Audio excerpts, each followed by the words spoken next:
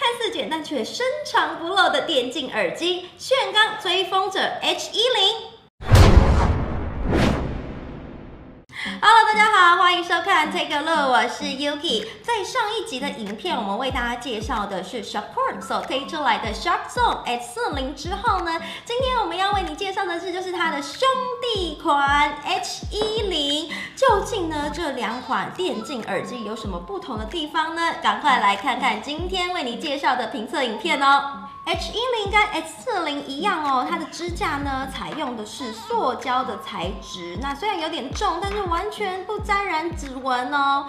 那它的耳机呢使用的是黄色配上黑色这两款强烈的对比色来呈现，非常的吸睛抢眼哦。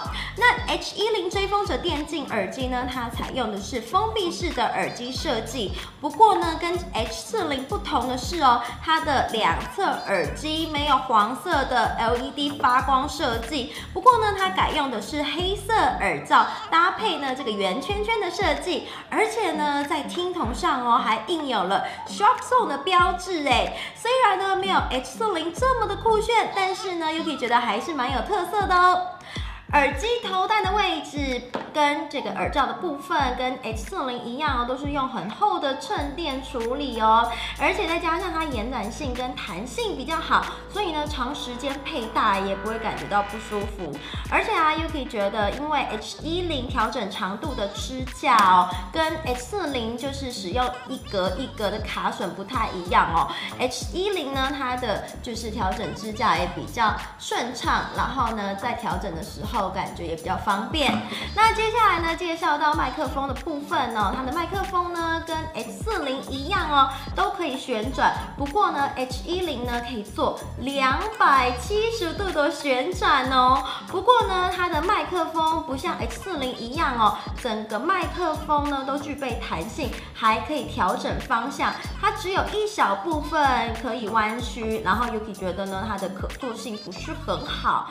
接下来呢，介绍线材的部分。那它的线材呢，采用的是橡胶的材质哦，而且呢，感觉线真的还蛮粗粗的，而且在它的衔接处呢，还有做好。非常好的保护措施，所以呢，线材虽然使用的是橡胶的材质呢，其实也不会太担心它会容易坏掉。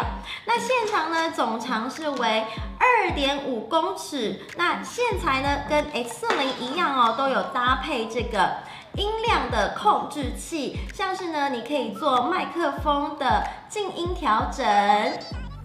以及呢，音量大小的调整都非常的方便哦。那接下来看到它的耳机呢，以及麦克风都是使用三点五 mm 的镀金接头，这样子呢，也可以让音质表现得更好哦。